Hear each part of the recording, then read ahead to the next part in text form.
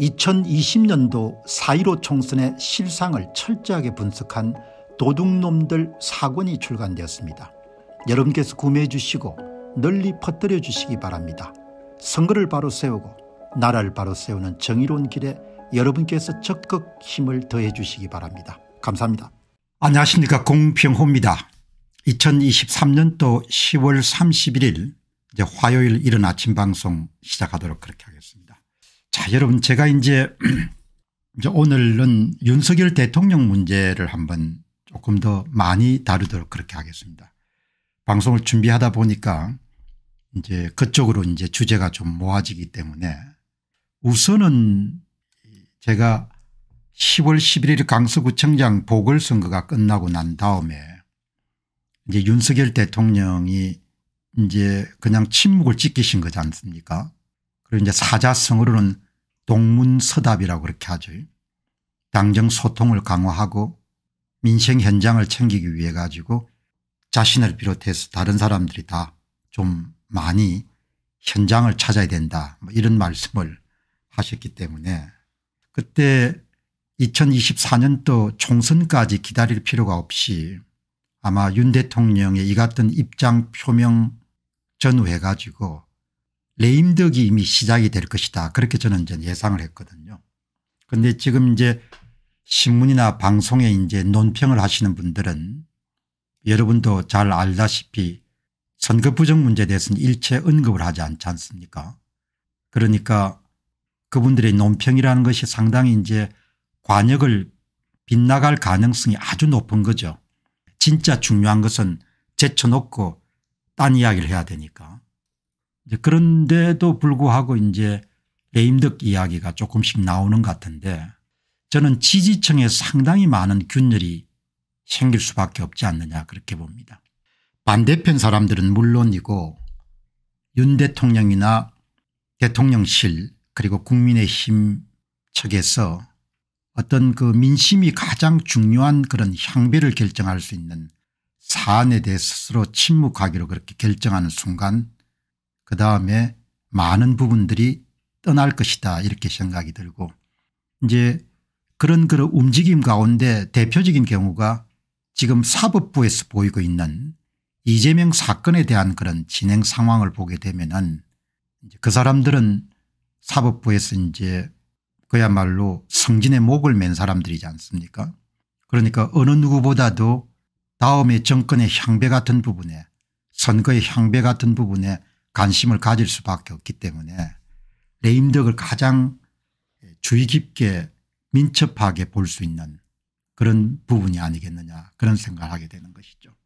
예상한 대로 그렇게 진행이 되는데 특히 이제 어제 같은 경우에 이런 그 어제 방송을 내보냈습니다마는 이제 수백만 원을 들여 가지고 이제 우파 계열의 사회 시민단체의 분들이 뭐 이런 것을 내놓은 거지 않습니까 중앙선거관리위원회 부정선거를 의혹에 대해서 묵인하는 윤석열 대통령이 이 나라의 국가 원수 맞습니까 예, 이 방송을 많은 분들이 보고 다른 그런 주제 방송보다도 훨씬 많은 분들이 한 200여 분 정도가 댓글을 남겼고 또 조회수도 많이 보신 것 같아요.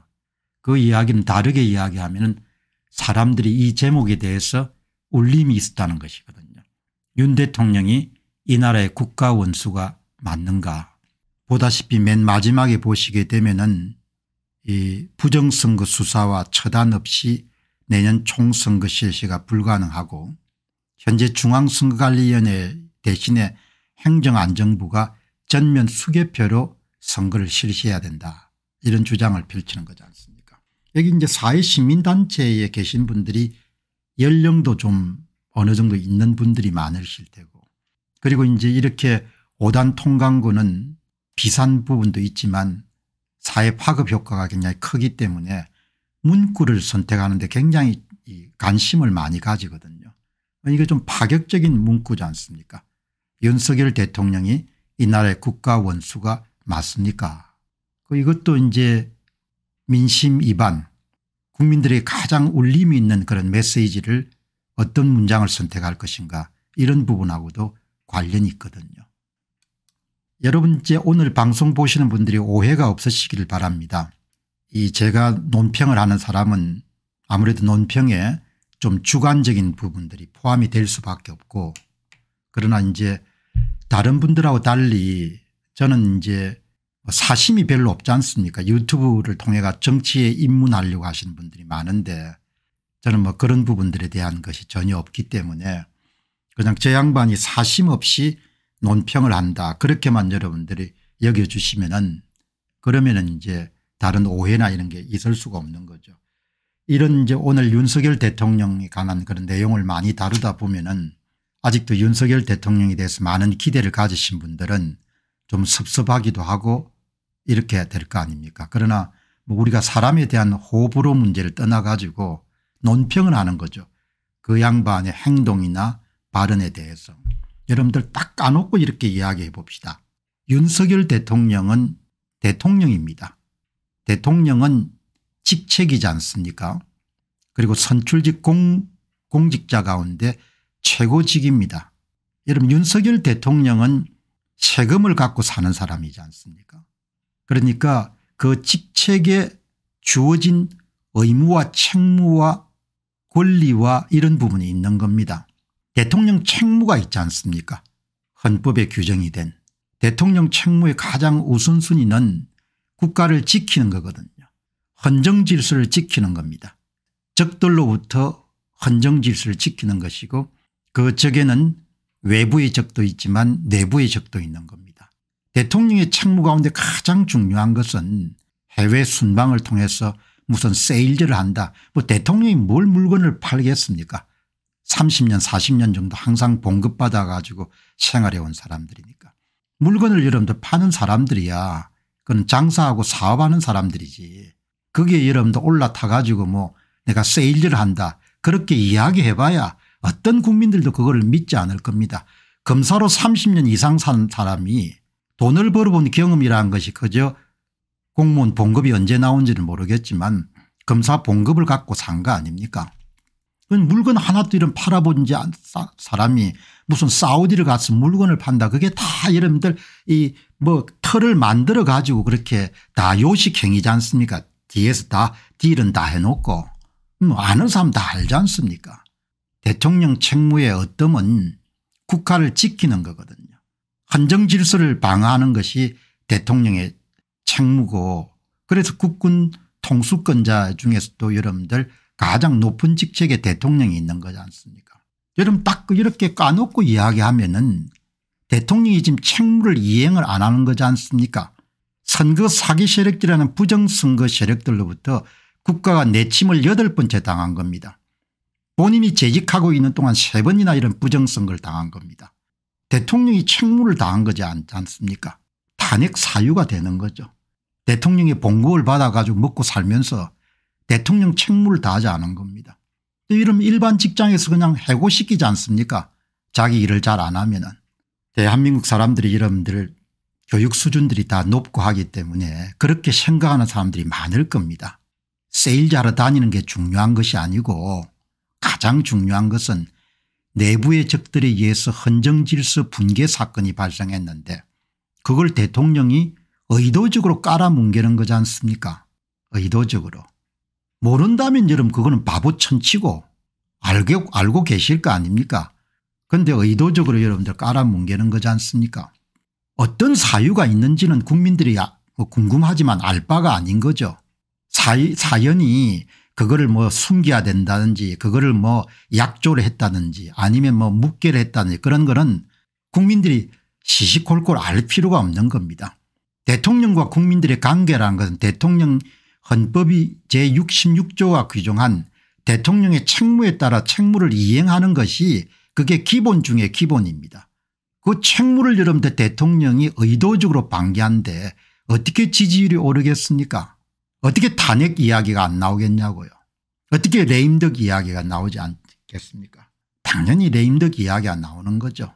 급속히 무너지는 거지 않습니까 사람들 마음에 화학적 반응이 일어나는 거지 않습니까 대통령이 자기 책무를 전혀 하지 않고 해외 순방 다니면서 그것이 대통령 책무인 것처럼 그렇게 포장해서 여러분들 언론의 이름들 많이 이렇게 노출시킨다 해가지고 그걸 그 고지 그대로 받을 수 있는 사람 없, 없지 않습니까?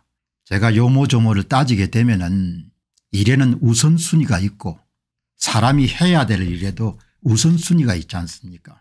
이제 아이들이 다 컸지만 아이들이 한참 여러분들 성장하고 교육을 시켜야 될 때는 오늘 방송을 보시는 분들 가운데 남성분들은 대부분 가장일 것이고 그다음 여성분들은 대개 여러분 어머니 역할을 하셨을 분들이 많으실 거 아닙니까 가장의 책무가 뭡니까?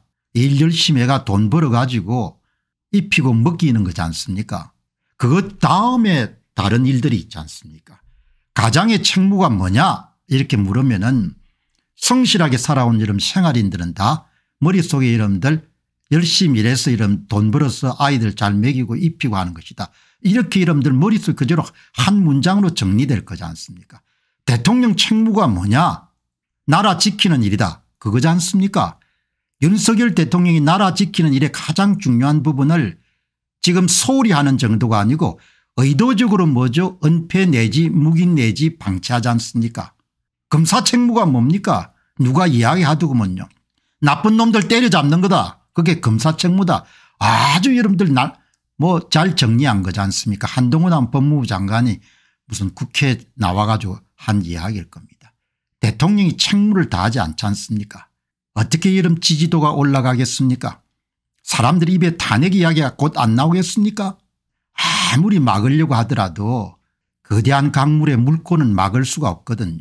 사람들이 여러분들 하도 답답하니까 어제 문화일보에 그런 5단 통광고 중앙선거관리위원회 부정선거 의혹을 묵인하는 윤석열 대통령 이 나라 국가 원수가 맞습니까 이런 이야기가 나오는 거죠. 저는 신문 지면이나 그다음에 사람들의 그런 남기는 댓글이나 그다음 전후 맥락이나 이런 걸 미뤄볼 때 10월 11일 강서구청장 보궐선거처럼 어마어마한 부정선거의 대름들 대통령이 침묵하는 걸 보고 먼산 쳐다보기를 하는 걸 보고 딴짓하는 것을 보고 야 이게 레임덕이 2024년 총선에 패배하면 레임덕이 시작된다. 천만의 말씀입니다. 이미 시작이 된 겁니다. 여러분 국가라는 것은 기본적으로 영이 있어야 될 거 아닙니까 영이. 영이 있어야 될 거 아닙니까 영이. 그 수많은 여러분들이 이해 집단들이 모여가 사는데 영이 없이 여러분들 어떻게 그거가 될 겁니까 공병호가 어떻게 바뀌었습니까 공병호는 여전히 공평호죠. 제발 여러분들 사람에 대한 충성하지 맙시다.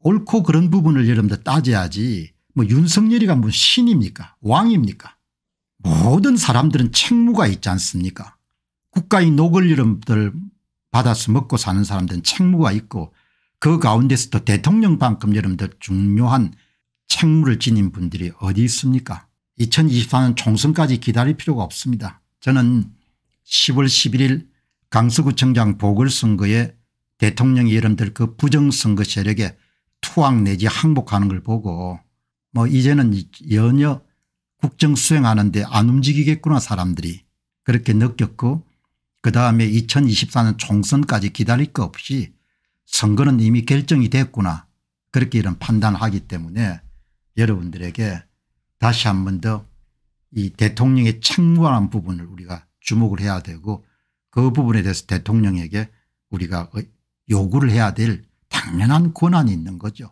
세금을 내는 세금, 여러분들 시민들은 당연히 공직자들에게 요구할 수 있지 않습니까? 당신 의무를 다하라고.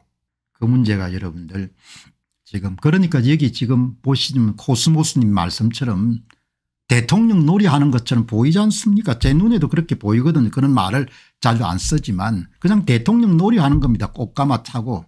그러나 그 놀이도 괜찮습니다. 본인이 권력투쟁에서 승리했으니까. 그러나 그것 전에 책무를 다하고 놀이하라 이야기죠. 아버지가 골프장 가는 건 괜찮다. 그러나 맥이 살리는 책무를 다하고 아버지가 골프장을 다녀야지 여러분들 가족들은 방치한 채 이런 골프장을 다니면 은 사람들이 비난하거나 가족들이 비난하지 않겠습니까 당연히 비난하는 거죠. 대통령한테는 취미상이 될 수 있을지 모르지만 부정선거가 고착화되는 것은 국민들한테는 죽고 사는 문제지 않습니까 죽고 사는 문제에 어떻게 여러분들 국민들이 아우성을 안 치겠습니까 당연히 아우성을 치죠. 제가 여러분들 지금 연배도 있고 성정 자체가 그렇게 격하지 않고 그렇게 사심이 없는 사람 입에서 여러분들 있죠. 탄핵 이야기가 나오고 레임덕 이야기가 나오고 국가 원수가 맞느냐는 이야기가 나오고 대통령의 책무가 나오고 여러분 이 정도가 되면은 거의 끈물입니다. 끈물.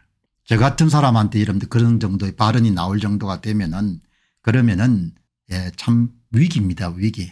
심사숙고를 했을 거 아닙니까 어떤 이야기를 해야 될지.